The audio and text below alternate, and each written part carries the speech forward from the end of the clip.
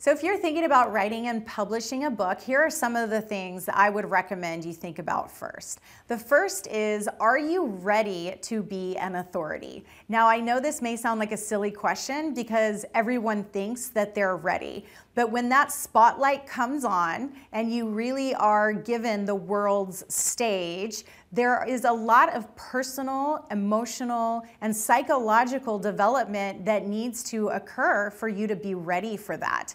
And so, a lot of times, people think they want the fame, the publicity, and then they get almost ready for it, and then something in them breaks down or something in them self sabotages. And so that's actually the first conversation I have with any author who says they want to publish a book. Is I say, "Are you really ready to take this all the way to the top?" Because I don't believe in playing small. There's actually less competition when you go for the top authority. Most people are still in their insecurity and self doubt and self sabotage. And so, if you're playing to the lower end of the market, that's actually where most of the competition is. So, the way that I brand and do the strategy from the very beginning is how do we make you the authority, the number one authority, the go to person that when someone says, Oh, I have this problem, you're the first person that they think of. And so that really involves knowing I've done all the emotional, psychological, personal development work, and I also have the support of my family. That may sound weird, but if your family isn't behind you, then that can also be a part of the problems that you run into once all of these spotlights are turned on. So if you have realized, I am ready to be the authority, I'm ready to turn on the spotlight, I've gone through all my own checks and balances for personal development, and now I'm ready to step into that spotlight. This is a very exciting place to be. You want to make sure you are surrounded by the right team because a lot of times if you start a project and you don't end up with the right ghostwriter or you don't have an editor who can support you or you don't understand the marketing strategy it becomes so draining and exhausting because you're spinning your wheels and trying to get something launched that doesn't have that cohesive strategy and that team around you from the very beginning Publishing is a big deal and it is a lot of work. So you want to make sure that you've got the energy, you've got the momentum, you've got the team, and you've got that launch date. Set that launch date, or else you will be one of those people who say, Oh, I've been working on my book for five years. you want to set the launch date, you want to commit to it, and you want to make sure you have the team, the energy, and the resources to make it happen. And you also want to prioritize it. You know, this is your body of work. This is your name as an author that's going to be put into this book. And we want you to be seen as an authority, which means you want to make sure you have the time and attention to really devote to making this book a success. And I see a lot of people who just throw a book together and then they do some book in a weekend, become an Amazon bestseller gimmick.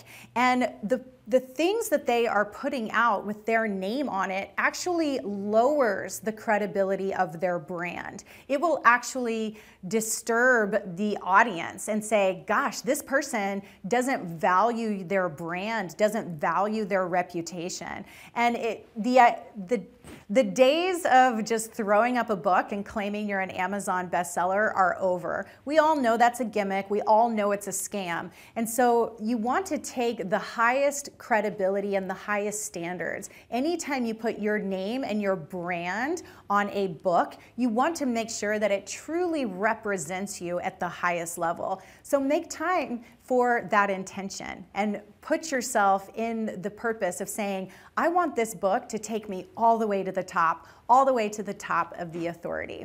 And then once you're writing, enjoy it, have fun. I love to travel when I'm writing. I love to go on beautiful adventures. It creates creativity. You don't want to just be locked in your office trying to pound out a book. So, really find ways that you can stay inspired, stay creative, so that it flows from you, because that's how you create your best work. And then, when it's time to really start thinking about publishing, make sure that you align with a publisher who has your best interests at heart. Look at the fine print, look at the details of the agreement, because a lot of people sign into publishing deals and then they later end up regretting it or saying, I wish I never would have taken that on. And so there's a lot that goes into publishing. And if you really put the time and attention and consideration into it, your book can be your greatest asset in business. I know I've built my businesses off books and I will continue to do so. And if you look at any of the top internet marketing launches that go to seven figures and beyond, they all start with a book. The book is that key of why are they an authority? Why are they changing the conversation and disrupting the paradigm? So the book is a critical piece of establishing you as an authority. And then when you combine it with the digital internet marketing launch, that's got a perfect formula for success.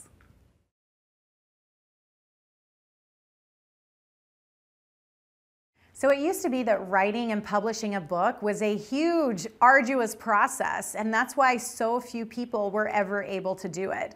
But today you can write, publish, get your book out there in 90 days. At Beverly Hills Publishing, we do everything for your book launch. We do the marketing, the publishing, and also the PR to get you that authority credibility in the press. It starts with the marketing strategy from the very beginning of knowing who is the market, what is the market searching for, and how do we serve the market exactly where they're looking. Then with the publishing, everything from the ghostwriting, the editing, the design, the cover, everything's all in-house. So you get that cohesive marketing, seamless strategy throughout the entire process.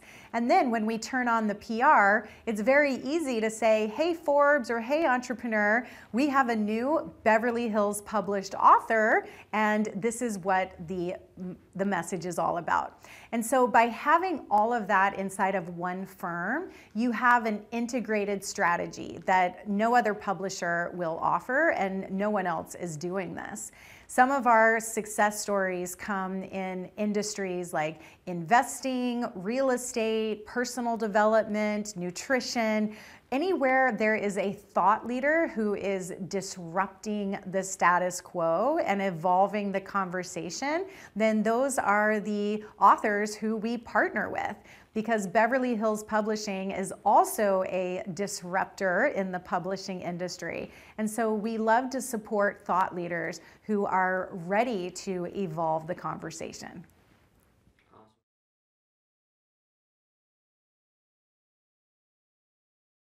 If digital marketing hadn't evolved the way it has, I wouldn't have a business. I would never be able to know where is the market evolving and be able to disrupt an industry like publishing. And digital marketing is always going to be the cornerstone of every business that I launch and create because that's where humanity is happening. That's where humans are communicating. And being able to access the conversation in the real time, not in some delayed market survey or market analysis that can take months or even weeks to create. You want to be able to be on the pulse of the market. What is happening right now? And it's happening by people on their phones all over the world, 24 hours a day, seven days a week. And so being able to access that kind of data and that kind of insight is it's priceless.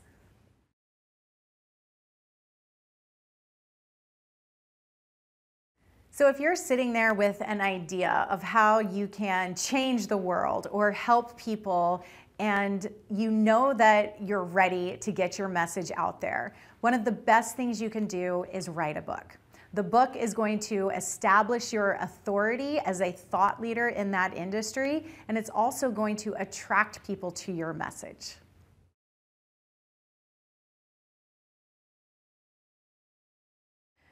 So, if you're just getting started and you know you're ready to write a book, but the idea is just overwhelming, I hope that you can really take some advice of how I wrote my first book. And it comes down to knowing who you want to serve. A lot of authors make the mistake of writing their book from their own perspective. They think about what they want to say versus what does the audience want to hear. And so by putting yourself into the mind of the audience and looking through it through their lens, now you'll be in a conversation. You're not going to be in a monologue, you're going to be in a dialogue, actually communicating and helping that person get to their desired solution. Once you have that perspective, now it comes a simple outline of what's a 10 step process that you can take someone through to get their achieved or desired result. You don't want to overwhelm them. You want to give them a transformation where they say, wow, that really worked. And now they want to follow you, trust you, and buy every book that you ever release.